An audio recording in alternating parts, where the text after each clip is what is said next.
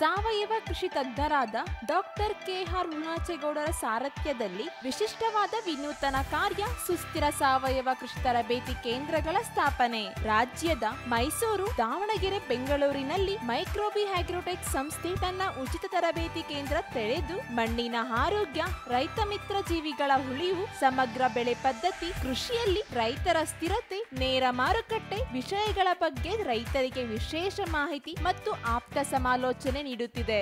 ರೈತರ ಹೇಳಿಕೆಯನ್ನೇ ಗುರಿಯಾಗಿಸಿಕೊಂಡು ಐತಿಹಾಸಿಕ ಕಾರ್ಯನಿರ್ವಹಣೆ ನಡೆಸುತ್ತಿದೆ. ಎಲ್ಲಾ ಕೇಂದ್ರಗಳಲ್ಲೂ ರೈತರು ಭಾಗವಹಿಸಿ ಪ್ರಯೋಜನ ಪಡೆಯುತ್ತಿದ್ದು, ಒಮ್ಮೆಗೆ ಹತ್ತು ರೈತರಿಗೆ ಮಾತ್ರ ಅವಕಾಶ ಕಲ್ಪಿಸಿ ರೈತರ ಕೃಷಿ ಸಂಕಷ್ಟಗಳ ವೈಯಕ್ತಿಕ ಮಾಹಿತಿಯನ್ನು ಪಡೆದು ಸಂಪೂರ್ಣ ಮಾಹಿತಿ ಮತ್ತು ಬೆಂಬಲ ನೀಡಲಾಗುತ್ತಿದೆ. ಬನ್ನಿ, ನೀವು ಸಫಲರಾಗಿ. ಎಲ್ಲಾ ಕೇಂದ್ರದಲ್ಲೂ ತಜ್ಞರಿಂದ ಪರಿಣಿತ ತಂಡ ಕಾರ್ಯನಿರ್ವಹಣೆಯಲ್ಲಿ ತೊಡಗಿದ್ದು ಬೆಂಗಳೂರು ಕೇಂದ್ರದಲ್ಲಿ ಡಾಕ್ಟರ್ ಕೆ ಹರುಣಾಚೇಗೌಡರು ಮಾರ್ಗದರ್ಶನ ನೀಡಿದರು. ಸುದೀರ್ಘ ಮಾಹಿತಿ ಪಡೆದ ರೈತರು ಕಾರ್ಯಕ್ರಮದ ಬಗ್ಗೆ ತಮ್ಮ ಅನಿಸಿಕೆಗಳನ್ನು ನೀಡಿದ್ದಾರೆ.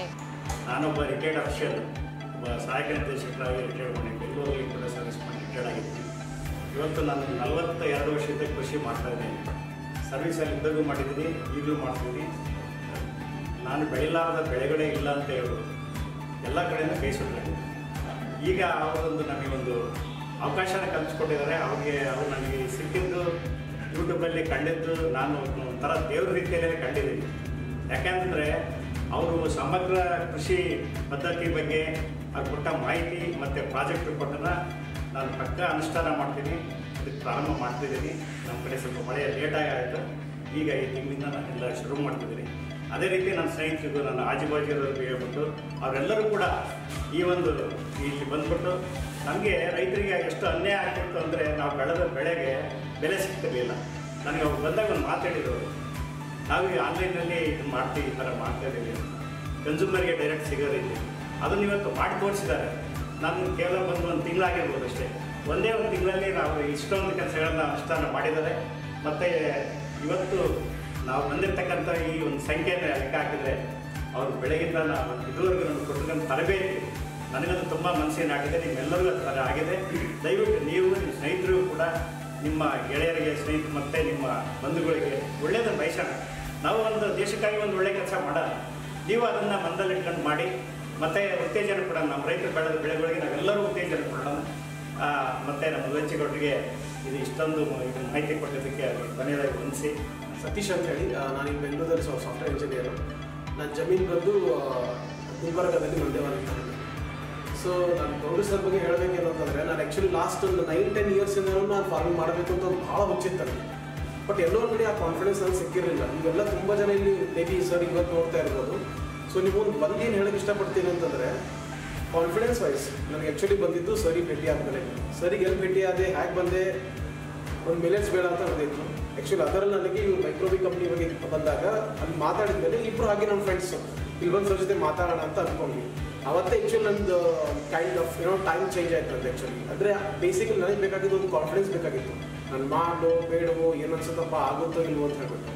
ಸೊ ಇವರಿಗೆ ಆ್ಯಕ್ಚುಲಿ ಭೇಟಿ ಆದಮೇಲೆ ನಾನು ಹೋಗಿ ಇವರ ಮಾರ್ಗದರ್ಶನದಲ್ಲಿ ನನಗೆ ಯಾವ ಥರ ಬೇಕು ಅಂತ ಡಿಸೈಡೆಡ್ ಆಗಿತ್ತು. ಲೈಕ್ ನಾನು ಮಾಡಿದ್ರೇ ಮಾಡಲ್ ಫಾರ್ಮಲ್ಲಿ ಸರ್ ಹೇಳ್ದಾಗೆ ಮಾಡ್ತೀನಿ ಅಂತ ಹೇಳಿ ಅದೇ ಥರ ಮಾಡಿ, ಈಗ ಅರಣ್ಯ ಕೃಷಿಗಳನ್ನು ಮಾಡಿ ಸಾಕಷ್ಟು ಹಳ್ಳಿಗಳು ಹಾಕ್ಕೊಂಡಿದ್ದೀನಿ ನಾನು. ಅಲ್ಲಿ ಆ ಜಮೀನಲ್ಲಿ ಎಲ್ಲರೂ ಅಂದ್ಕೊಂಡ್ರು, ಏನಪ್ಪ ಬರುತ್ತೋ ಬರಲ್ವೋ ಅಂತ ಹೇಳ್ಬಿಟ್ಟು. ನಾನು ಹಾಗೆ ಬಗ್ಗೆ ನೋಡಿಲ್ಲ ತುಂಬ ಕಡೆ ಯೂಟ್ಯೂಬ್ ವೀಡಿಯೋಸ್ ನೋಡಿದೆ, ಅಷ್ಟು ಫಾರ್ಮರ್ಸ್ಗೂ ಭೇಟಿ ಆದರೆ ಅಷ್ಟು ಎಲ್ಲ ಇನ್ಫಾರ್ಮೇಷನ್ ಎಲ್ಲ ಕಡೆ ಸಿಗುತ್ತೆ ನಿಮಗೆ. ಯಾರು ಸುಮ್ಮನೆ ಯಾರು ಹೇಳ್ತಾರೆ ಕೇಳ್ಬೇಕಂತೇನಿಲ್ಲ ಎಲ್ಲ ಕಡೆ ಇನ್ಫಾರ್ಮೇಷನ್ ಇದೆ ನಿಮಗೆ.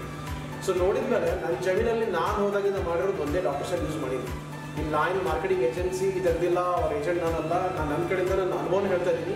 ಇವತ್ತು ನನ್ನ ಫ್ರೆಂಡ್ಸ್ ಆಗಿರ್ಬೋದು, ನನ್ನ ಹಳ್ಳಿಯವರಾಗಿರ್ಬೋದು ಕೂಡ ಅಲ್ಲಿ ನೋಡ್ತಾ ಇದ್ದಾರೆ ಗಿಡಗಳನ್ನ ನಿಮ್ಮ ಅನುಭವ ಬರಬೇಕು ಅಂದರೆ ಒಂದೊಂದ್ಸತಿ ಬಂದು ನೋಡ್ಬೋದು ನೀವು. ನನ್ನ ಟೀ ಗುಡ್ ಗಿಡ ಕೂಡ ನಾನು ಡಾಕ್ಟರ್ ಸರಲ್ಲಿ ಬೆಳೆಸಿದ್ದೀನಿ. ಹಾಗಾಗಿ ನಾನು ಎಲ್ಲಿಂದ ತೊಗೊಂಡೆ, ಅವ್ರು ಏನೇನೋ ಕೆಮಿಕಲ್ ಫರ್ಟಿಲೈಸರ್ಸ್ ಹೇಳಿದ್ರು.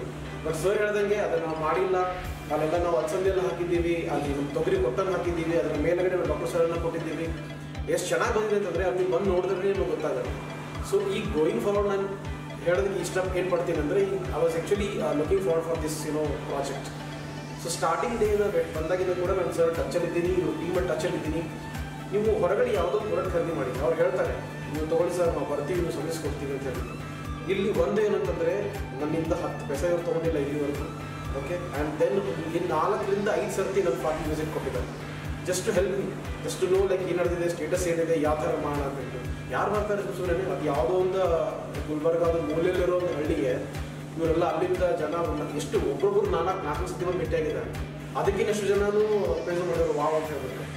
ಸೊ ಸರ್ ಈಗ ಹೇಳ್ತಿರ್ಬೋದು ಲೈಕ್ ಪ್ರಾಜೆಕ್ಟ್ ರಿಪೋರ್ಟಿಗೆ ಏನಾದ್ರು ದುಡ್ಡು ತೊಗೊಂಡು ಮಾಡ್ತೀನಿ ಅಂತ ಹೇಳ್ಬಿಟ್ಟು. ಆ್ಯಕ್ಚುಲಿ ನಾವು ಇಲ್ಲಿ ಟ್ರೈನಿಂಗ್ ಅಟೆಂಡ್ ಆದಾಗ ನಾವು ಕರ್ಕೊಂಡ್ಬಂದು ಜನರಿಗೆ ದುಡ್ಡಾಗ ಕೂಡ ನಾವೇ ಇನ್ಸಿಸ್ಟ್ ಮಾಡಿದ್ವಿ. ಸರ್, ಯಾಕೆ ಸರ್ ಹಿಂಗೆ ಮಾಡ್ತಾ ಅಂತ ಯಾಕೆ ಜನರಿಗೆ, ಯಾವುದೇ ಜನರಿಗೆ ಕೂಡ ಫ್ರೀಯಾಗಿ ಸಿಕ್ಕರೆ ಅದ್ರ ಇಂಪಾರ್ಟೆನ್ಸ್ ಇರೋಲ್ಲ. ಸುಮ್ಮನೆ ಏನೋ ಬರ್ತಾರೆ ಹೋಗ್ತಾ ಆಯ್ತು ಊಟ ಕೊಟ್ಟರು ಊಟ ಹೋಗೋಣ ಅಂತ. ಎಷ್ಟು ಜನ ಆಗಿದೆ. ಬಟ್ ನಾವು ಕಲ್ತಿರೋದ್ರಿಂದ ನಾವೇನು ಸರ್ ಇನ್ಸ್ಟು ಆ ಟೈಮಲ್ಲಿ ಮಾಡಿದ್ದೇವೆ ಅನ್ನೋದು ಅಟ್ಲೀಸ್ಟ್ ಏನೋ ಒಂದು ಚಾರ್ಜ್ ಮಾಡಿ ಅಂತ. ಯಾಕಂದ್ರೆ ಜನರಿಗೆ ದುಡ್ಡು ಕೊಟ್ಮೇಲೆ ಅದಕ್ಕೊಂದು ಬೆಲೆ ಇರುತ್ತೆ ಇಲ್ಲ ಅಂದರೆ ಹಾಗೆ ಇರಲ್ಲ. ಸೊ ನಾನು ನೋಡಿದ ಪ್ರಕಾರ ಸರ್ ಅವಾಗಲೇ ಅವಾಗ ಹೇಳಿದ್ರು ಕೂಡ ಒನ್ ಇಯರ್ ಬ್ಯಾಕ್ ಹೇಳ್ತಿದ್ದಾರೆ ಮಾತನ್ನು. ಅವತ್ತು ಹೇಳಿದ್ರು ಲೈಕ್ ಒಂದು ಆ್ಯಪ್ ತರ್ತೀವಿ, ಒಂದು ಮಾರ್ಕೆಟಿಂಗ್ ಹೆಲ್ಪ್ ಮಾಡ್ತೀವಿ. ನಮ್ಮ ಫಾರ್ಮರ್ಸಿಗೆ ಏನೋ ಹೆಲ್ಪ್ ಆಗೋ ಮಾಡ್ತೀವಿ ಅಂತ ಹೇಳ್ಬಿಟ್ಟು ಅವ್ರು ಅದನ್ನು ಮರ್ತಿಲ್ಲ. ಆ್ಯಂಡ್ ಮೊನ್ನೆ ನಾನು ರೀಸೆಂಟಾಗಿ ಒಂದು ಟೂ ವೀಕ್ಸ್ ಬ್ಯಾಕ್ ಮಾತಾಡೋದು ಕೂಡ ಅವ್ರು ಹೇಳಿದಾಗ ಲೈಕ್ ಈ ಥರದೊಂದು ನಾವು ಒಂದು ಮಾರ್ಕೆಟಿಂಗ್ ಪ್ಲಾಟ್ಫಾರ್ಮ್ ರೆಡಿ ಮಾಡ್ತಿದ್ವಿ ಅಂದಾಗ ಎಸ್ ಅವ್ರು ಹೇಳಿದ್ರು ನನಗೆ is a man of his words right so ಇದೆಲ್ಲ ತುಂಬ ಅನಿಸಿಕೆ ಇದೆ. ಮುಂದೆನೂ ಕೂಡ ನನಗೆ ಜೊತೆ ತುಂಬ ಕೆಲಸ ಮಾಡೋದಿದೆ.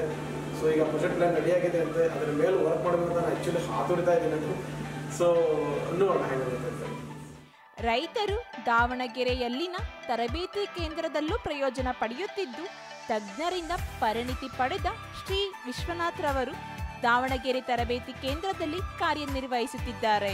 ಇವರು ನೀಡುವ ಮಾಹಿತಿ, ಮಾರ್ಗದರ್ಶನ ಪಡೆದ ರೈತರು ಕೂಡ ತಮ್ಮ ಅಭಿಪ್ರಾಯ ತಿಳಿಸಿದ್ದಾರೆ. ರೈತರ ಬೇಡಿಕೆಯಂತೆ ಮೈಸೂರಿನಲ್ಲೂ ಸಾವಯವ ಕೃಷಿ ತರಬೇತಿ ಕೇಂದ್ರ ಪ್ರಾರಂಭವಾಗಿ ಹೆಚ್ಚು ಹೆಚ್ಚು ರೈತರಿಗೆ ಮಾರ್ಗದರ್ಶನ ನೀಡುವಲ್ಲಿ ನಿರಂತರವಾಗಿ ಇಲ್ಲಿನ ಮಾರ್ಗದರ್ಶಕರಾದ ಡಾಕ್ಟರ್ ಶ್ರೀಕಂಠಸ್ವಾಮಿರವರು ಕಾರ್ಯನಿರ್ವಹಿಸುತ್ತಿದ್ದು ರೈತರು ಪ್ರಯೋಜನ ಪಡೆಯುತ್ತಿದ್ದಾರೆ. ರಾಜ್ಯದ ಕೃಷಿ ಉದ್ದಿಮೆದಾರರ ಪ್ರಗತಿಯನ್ನು ಗುರಿಯಾಗಿಸಿ ಮಾರ್ಗದರ್ಶನ ನೀಡುತ್ತಿದ್ದು ರೈತರಿಗೂ ಉಪಯೋಗವಾಗುತ್ತಿದೆ. ಕೃಷಿ ಸಂಕಷ್ಟಗಳಿಗೆ ಉತ್ತಮ ಮಾರ್ಗದರ್ಶನ ಮಾಹಿತಿ ನೀಡುವ ಕೇಂದ್ರಗಳು ರೈತರ ಪಾಲಿನ ಬೆಳಕು ಎಂಬುದು ನಮ್ಮ ಆಶಯ.